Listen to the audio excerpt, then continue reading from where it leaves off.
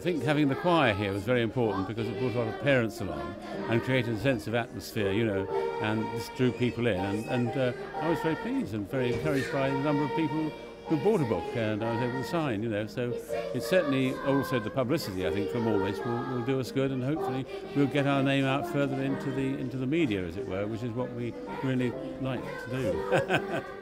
well, I'm hoping people will buy books to give away at Christmas time, you know a little Christmas present for someone in the family, you know.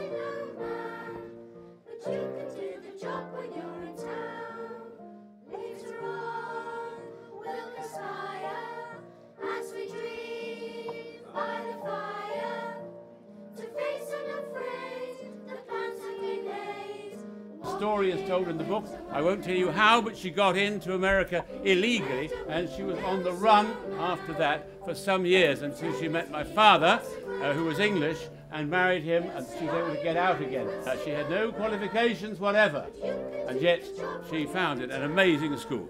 Did everyone agree with that? Yes. Good, thank you. Louder! Yes! She founded an amazing school. This story is how that amazing school came into being, and uh, it's, it's a good read. Thank you very much for buying it.